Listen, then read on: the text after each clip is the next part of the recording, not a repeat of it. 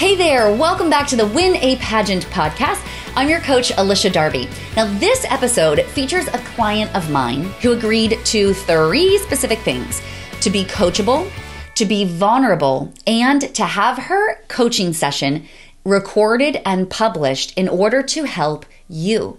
So I know that a lot of women who haven't had pageant coaching before don't really know what to expect or how much can you really even get done in 30 minutes. So this client of mine agreed to have her session recorded in order to show you what gets done and how it gets done during a virtual coaching session. Okay. So I want you to listen to this call from two different perspectives. First of all, I want you to think could pageant coaching, especially virtually, even be something that could help you in your pageant prep. I want you to be thinking about that. At the end of the video, I'll tell you how you could make that a reality for you. Uh, the second thing that I really, really want you to pay attention to is I want you to think the things that I'm sharing with her, the coaching that I'm giving her, how can you apply that coaching to your own pageant prep. Okay. What are the things that she's learning in this and the skills that she's developing and the strategy that she's learning? How can you apply that to yourself? I'm so grateful that this client allowed me to record this call because I know a lot of the things that she learned during this call will support you in your pageant prep. So sit back with an open mind, maybe get a notepad and a pen handy because a lot of this coaching is going to apply to you too. All right. Enjoy. So tell me what you want to work on today. How can I help you? Um, I guess just interview. Um, I've done Mrs. Pageants before, and I guess just kind of trying to my my platform is my nonprofit organization, which is um, Youth Fitness Link, okay. which the idea is to build healthy, positive relationships on the inside and out for kids. Um, mm. Now my hmm. Skype's going crazy, crazy on my. I'm telling you, this technology is overwhelmed these days. Stop it! What? um, I've been trying to load that for like ten minutes on my laptop. That's oh. crazy. Oh. Anyways, um, so yeah, I guess just kind of trying to figure out the best way to present it. Um, and just really nail it and build confidence and interview and I guess yeah. sponsorships, especially now with me owning a gym and not working. Of yeah, what's the best Yay. way to go that? Does that feel good or what? yeah, I'm like, okay, well, you're like, this is a new kind of way of being. Yeah, because it's it is interesting the um, that gym have you been doing things online for clients or i have um, i haven't been charging just because everybody else and their brother is doing like i'm going live every day at two um, okay, and there's so much that people are doing for free. I feel bad yeah. charging people that can't pay for it either so right yeah yeah trying to figure out all right this is good. So tell me about um, tell me a little bit about your nonprofit. Like what is the mission the big mission behind it? Uh, basically, just build positive, healthy, positive relationships on the inside and out for um, adolescents ages 10 to 17. So here in North what's Carolina, like? Like, tell me what's um, that mean? Like, what's what would it look like when it happens? So basically, it's just groups of kids, and we kind of get together and um, play games and stuff in order to and talk about like health and nutrition a little bit, but more just play games and make fitness fun. Um, nice. Like we'll just do like relay races and stuff like that, like mm. a PE class, um, kind of idea, but more fun than just a PE class. And of course, yeah. no grades, like a YMCA program. Oh, okay, yeah. Okay, good. And it's in person? They meet in person? Yeah, okay. my studio. Yeah, normally my studio. Um, I wanted to set some stuff up at my church, but we just lost our gym at our church. So yeah, okay, okay, cool. And how long have you been doing this? Um, about three years now. Wow, this is great. All these things. I need to keep up with you, girl. I love all of this. Yes. You're the one having all the fun. Uh, well, we both are now in our in our respective respective industries. Um, cool. This is great. So so tell me about your. Um, I'm assuming that right now, when you compete in pageants, you use the nonprofit as your platform. Is that right? Correct. Yeah. Okay. And so, and you've done Mrs. Pageants before uh, in the mm-hmm. same system? I've done Mrs. America, um, North okay. Carolina three times, and okay. then did uh, Cosmos twice, and oh, nice. North American um, or North America once. Okay, great. And what's this one that you're competing in now? Uh, it was going to be United States, but it was May 3rd, and I have not heard anything at all. So the oh, national okay. pageant's been bumped back, but I have not heard yeah. anything. Okay. They're probably still. I'm sure they'll still do it, but I would imagine so. But it is, it's tough because a lot of people, I'm even finding this in our community.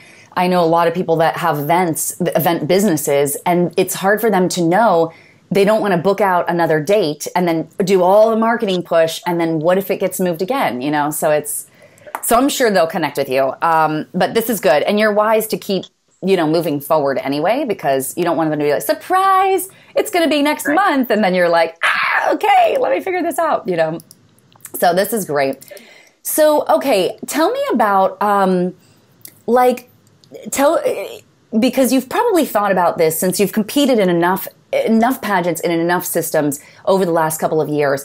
Tell me how you already, what is your kind of rough draft of how you connect if you were to win at the national level, we always want to think about national level. So if you were to win at the national level, what would what access would you have or what what reach would you have in order what would you be able to create with your platform that you wouldn't be able to from where you're at right now? Have you thought through like how that would change things? Kind of um, just realizing how important it is just how important fitness is. Um, yeah. In North Carolina, 31% of adolescents ages 10 to 17 are considered obese. And I know nationwide that number is right around those same lines, but still yeah. pretty high, higher in some places, less in other places, of course. Um, but just reaching more people and getting more volunteers because it is just me right now, and I'm just one person. And yeah. you know, sparkly hat's great, but it's the microphone. Mm-hmm. Yeah, I love it. So, um, okay, so looking, so you're you're looking to add volunteers. That's your biggest thing. Is the nonprofit that you're doing right now is it local just to your area, or is this something? It is okay. And is it something? Is the model that you've created replicable? Is it something that somebody else could do elsewhere? It is, and I and I use the term nonprofit. I haven't built up any like the legal stuff behind it or anything okay. like that. I've not gone into that yet, just because it ends up being friends of mine right now and their kids. Yeah. So it's okay. just kind of like, okay. Um, it's more casual for now, informal. Yeah. yeah. Okay. Yeah. That's great. Yeah. And that's, and you don't need to right now. I say that I, I think that the time that you start, need to start doing that is for when it, when it grows beyond control. So once you're like, okay, now I need legal protection. Once you start to do taking donations and things like that, that's when you'll want to say like, okay, let's get official here, you know? Um, but yeah, okay. So volunteers. Okay, so how have you thought? Have you thought? If not, I can create some ideas. But how have you thought about? Let's say that you win this, and you now become the Mrs. United States, the national title holder. But you've got this program only in North Carolina. How can you duplicate this, or what can you take kind of on the road? Um, my thought was just volunteers, and you can find a park. I mean, there's nothing really that you need. I mean, the exercises can be done, and I've posted some stuff online um, and stuff like that too for just like family workouts and stuff. But um, you really don't need anything. It's not a cost to start it up. You really just need people that are willing to hang out with some kids. Great. Okay, cool. So you need the people that are willing, you need the kids, and then yeah. you need to know like what are the exercises. So like for example, I I'm not a parent and I don't hang around kids of ages 10 to 17. But if this were something that I were like, I want to start this in San Diego, like, where might I begin? As it stands right now, as your program is right now, if I was like, I, I choose me, I want to do this, what would be the next step? Basically, I would just say, hey, you know, go to a church, um, find kids there, or a local school, or a YMCA. Um, the idea is also to teach kids how important teamwork is and kind of combat racism and bullying mm, through working good. through our kids. Um, yeah. Because kids, you know, kids don't see color. Kids don't see when they're working together on a team. It's about that common goal, and I think that yeah. by leading, by kids leading that example, that adults are like, oh, hey, there, there's no confrontation, no conflict going on here. They're working together. Wow, it's not right. that hard. yeah, exactly. Yes, good. Um, okay, I like this. So here's what I'm thinking for you the the biggest thing about these pageants when on the national especially on the national level but of course it applies at the state level because it must um, it you're kind of proving things at any state pageant. So you mentioned that you'd done the miss america north carolina pageant before.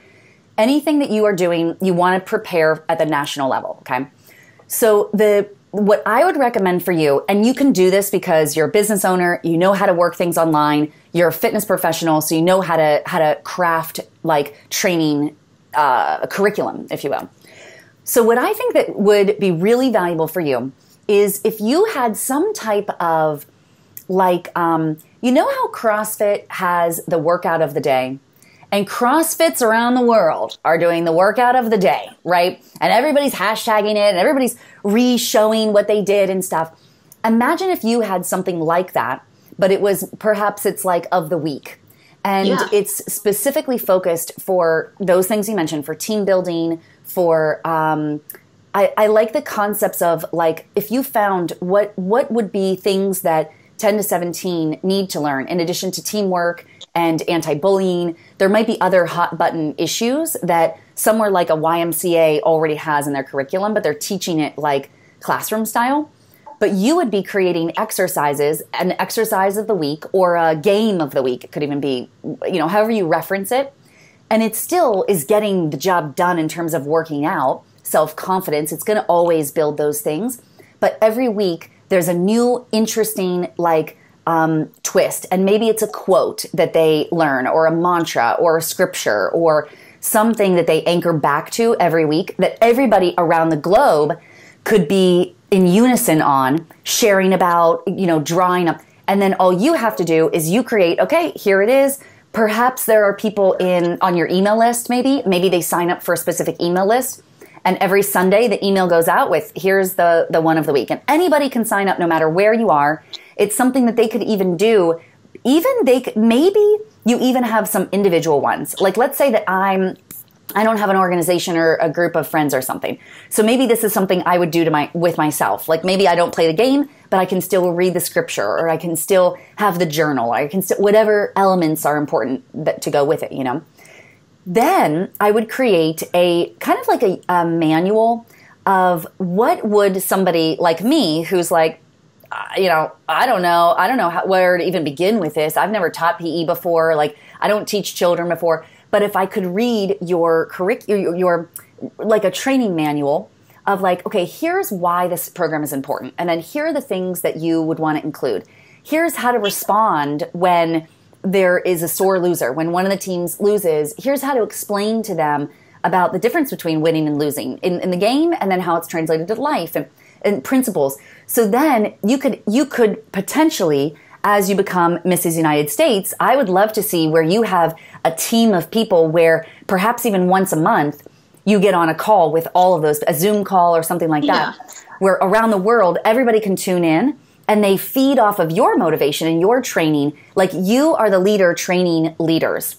So now you've got influence over them and then they've got influence over all of the 10 to 17 year olds you could in that training manual you could have a you know one page document of like here is our mission statement here is the description of the people we serve here's how to reach out to your local church here's what how to explain it to them here are the days of the week that we see here is are some marketing pieces. You know you could even create like you know you probably use canva. Do you use canva for i do marketing? yeah. Okay so you could use canva to create some marketing pieces some I would every week I would have a and you could just make a template and, and just change up the little things, you know. I would have a story, an Instagram story, a post that they could post on Facebook or on um, Instagram, and then I would have a downloadable like like a piece of paper that the teacher could print out. And okay. so on Sunday, boom, everything goes out, and here is the whatever we're calling it, like the workout of the day, but it would be like the um, you know, I don't know, the, the game. I like the idea of game for youth, um, or the youth link of the week, or the like something like that. Like some give it some fun, simple name. That then now everybody's being able to talk about it, right? So now you're able to start okay. a movement. Now it's not hyper hyper local. Okay. How does this feel okay. for you? I love it. Do you think that it's strong enough to? I mean, I know most people going into a national pageant are linked up with Wounded Warrior or Red Cross. Is it I mean, for me to have a nonprofit that is basically just getting started, yeah, I've been doing it for years, but it's not, you know, it's 10 people. Um, right, yeah. Is it strong enough to, and granted, of course, I'll have to work with it, but is it strong enough yeah. to take to a national level, or should I, you know, this is what I do and it's linked on to this greater cause? So, what a lot of women, it, I'm gonna I'm gonna answer your question. I'm gonna say why that happens. I'm gonna answer your question, and then I'm gonna give you a plan of what to do. Okay. The reason that the reason that this happens is because most women do not know their nose from their elbow.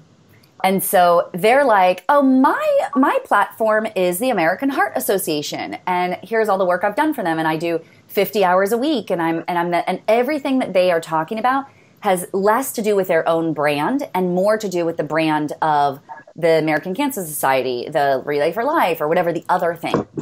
So what I think you are doing is actually light years better than somebody okay. who only attaches themselves to, oh, my platform is the Relay for Life or whatever, all these other things, you know? And the reason that women are doing that is because they just think that that's what they're supposed to do because that's what everyone else is doing, okay? What you're doing will be so much more unique. It will be more interesting for people to actually talk about.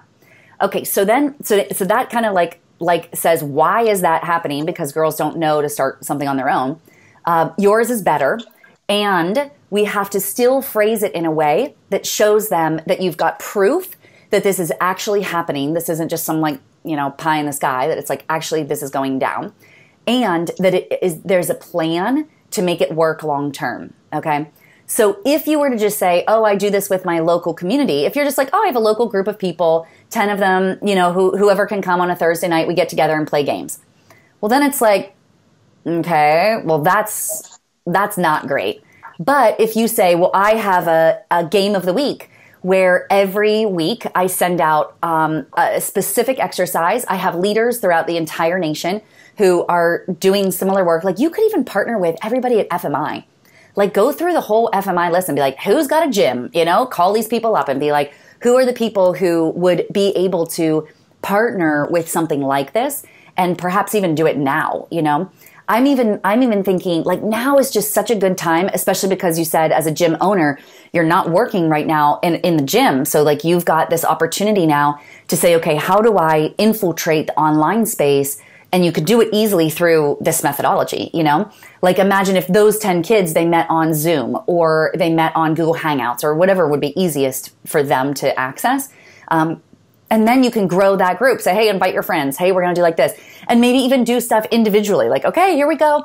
Whoever can do the most jumping jacks, you know, in, uh, in the next 15 minutes, here we go. And then you're just like champion them. And as soon as they're done, they sit down and cheer on the other people, you know you could get, and it's 15 minutes, even if it's 15 minutes, but it's yeah. just getting it started, right?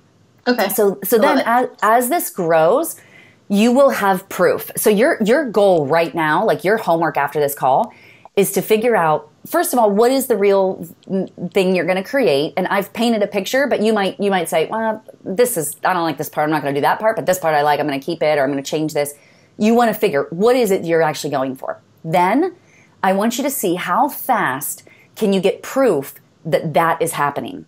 Okay. okay. So probably the fastest end would be I would create like maybe maybe 10 or 12 different like games, which you probably already have, you know, but you're going to have to write them out, right? You're going to have to say like, here's what it is and here are the directions or whatever. Uh, maybe it's better or easier for you to do a voice memo explaining it um, you could even do like voice to text where you explain it on Google if that's easier. You could do that where it texts it out and then now you've got it all written out and you can just copy and paste it.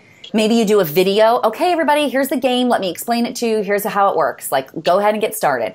So, however you're going to capture those and then organize them.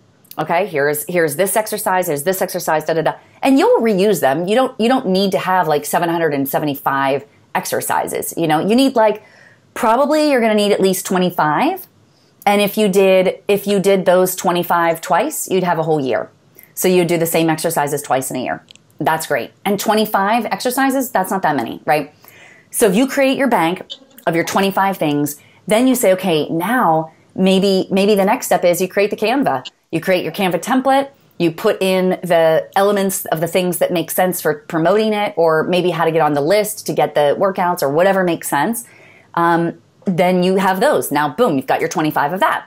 Then you say, okay, now how can I implement this for my group of 10? What's the fastest way that I can get them up and going? Is it a phone call? Maybe you get all the parents to get their kids on a phone or FaceTime, or it doesn't matter. Just get something going so that you've got some proof that it's working, you know? And then the faster it can get up, the better. Awesome. I love it. I love Good. it. Genius. How, cool. How's this all feeling for you? Genius. It's genius. I mean, I've got like a Facebook page, but and some photos, but it's not. You know, I can't be like, oh yeah, I'm actually doing this. Go to my Facebook page. You know what I mean? Like, right. Exactly. The judge isn't going to go. Like, let's be honest. That's right. Especially yeah. on moment. Yeah, exactly. Yeah, it'll be it'll be so much easier if you once you create this stuff, even for you, it will feel real. So once yeah. you like, what a lot of women do is they have this like, um, well, when I win, then I'm going to do all these things, and they they have this idea that well, once I win, I'll have enough motivation to actually do all the stuff I want to do. But really, it has to work backwards because people need to know. They need to know in order to trust you. They need to have the proof that you actually going to do this, so I can trust you with this title, right? So by doing these things, you are going to trust yourself with the title, and then you can always work with anyone else. Like, think about all of the different organizations in the fitness industry that you have personal contacts with that might be interested in promoting this type of thing. You know, like yeah. you you know these people. You've been in this industry for ages. You could reach out to the YMCA and partner with the YMCA. Hey, why? We're you know, you want to I'm doing this thing on fitness on Thursday. You know, find all of the churches in your area. Hey, we're promoting this thing for for youth fitness. People would love this, you know? Schools right now would love this kind of thing, you know? I would actually be interested. One thing you could consider is researching what are schools doing right now for that age range to satisfy the PE um, requirement while everybody while the schools are closed. Like, what do they have a to do? Of them aren't doing anything. Really? Oh. Yeah, I, I know around here, granted, it's so we're not that, conscious, but yeah, yeah. But so maybe that's something that you could consider even reaching out to as, you know, once you get it developed and it's and it looks real, once you have something, then you can show it to someone and they'll see it and they'll be like, "Oh, well yeah, we might be interested in that." Because imagine if people could if they could join your list and do that routine and write a little reflection that they did it at home, that takes pressure off the PE teacher trying to teach people basketball or something, you know? Like yeah. then that could satisfy that curriculum that's needed across all of the schools right now. A lot of schools aren't going to go back for the end of the year. So these kids are going to have to pass these grades from home, you know? And and a lot of my guess is that a lot of obesity it's not just the youth, it's coming from the parents too. So if a parent is not outside, you know, whatever, doing, you know, playing basketball, whatever, tennis or something, the kids is going to do it. So a lot of children are getting that from the parent, you know? So the parent's not going to say, "Okay, kids, let's let's run around the house six times. Here we go." They're not, but you will, yeah. and the parent would love if you did that for them, you know? So you've love got it. some marketing channels here. You've got some some places that that you can reach out. So now we talk about okay, so how do you communicate this in your interview? Because now it's going to be cool. Once you get this dialed in, it's going to be like really great. And people are, what your goal will be is to get people to, in your interview, to talk just about this, to be so excited about it, to have all these kind of questions for it. And then you will have created in the back of your mind in preparation strategic stories that you'll want to share. So you will share probably the the story of how you this used to be just hyper local, but then as soon as the stay at home uh, shelter in place thing was put into place, that then you had to get creative to really get it online. And so you created the exercise of the week, and then you started a mailing list. And within the first week, you had 150 people on your mailing list. And then after that, you were able to partner with churches in the area and with da da da da da and schools. And, and then you were able to meet with the governor on the phone because now the governor wants to have you have your classes in those. And, and then so you'll start to collect those stories so that then when the judges ask you, um, what's been your favorite vacation? Instead of saying, oh, that time that I went to Greece, like three years, your favorite vacation will be back to this project. Well, truly my favorite vacation was when my gym was forced to close last month. And I was on vacation. And the best part about it is what came of it. These exercises of the week that I was able to create on my vacation from work, the thing that people would have thought was terrible, what has come of it has been amazing. Let me tell you about this. Let me tell you about. So then all of a sudden you are able to lead your interview into some really epic thing.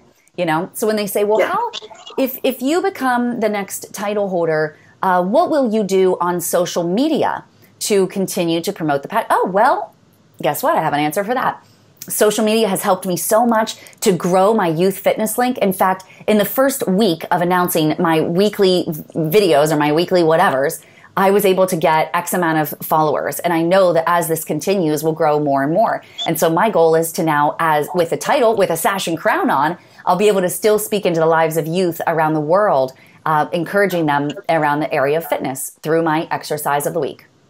So everything that they ask you, you'll be able to come back with, hey, look, I got this epic thing because it covers all of the area. What do you want your legacy to be? I want my legacy to be the fact that I have helped youth around the world lower obesity. I want to see an actual lower obesity. Right now, North Carolina is at 31%, and that's and that's around the United States. But around the world, there are people who struggle with obesity. My goal is that I will help the youth, and I do it through my youth fitness link.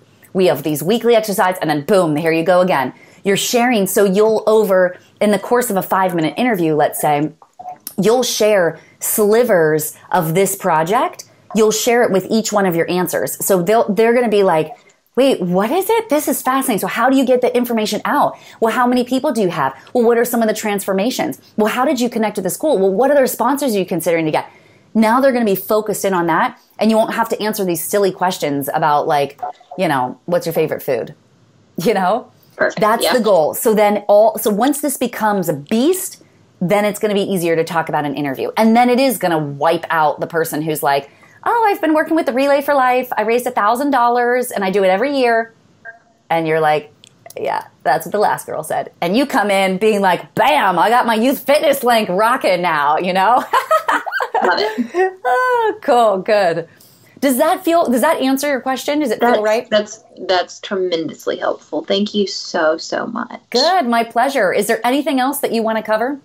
Thank you so much for doing the virtual pageant summit too. I haven't yes. caught up today, but I'm watching it at night. So thank you oh, so man. much. Wait that. until you it's see awesome. today's. I it love is, Luciera. Oh, ah, she's love. wonderful. I she jumped on there real quick and then I had to go. I was like, oh. Oh, it's so good. Oh, yeah, you're going to love it. Good. I'm so glad that you are enjoying that. I'm glad that it's helping. Yeah. Thank you. Ooh, wasn't that good stuff? Oh, I hope you learned so much from her. I know I had so much fun doing this strategy call with her as we usually do. It's fun. So, two things. If you need to hear more of these strategy sessions because they're so good and you can learn so much from them, then just search strategy sessions because I have a few more clients that also agreed to be recorded. So, you'll be able to look at the behind the scenes of their calls as well. And then, if you are ready to schedule your strategy session, session, you can go to winapageant.com slash coaching. That's going to take you to my calendar so you can see what appointments are available and when you can book yours. And you'll also see pricing options there, which types of calls are available and how much do each of them cost. And you can book your call directly from there. I cannot wait to work with you. Head over to winapageant.com slash coaching to check it out. I'll see you next time.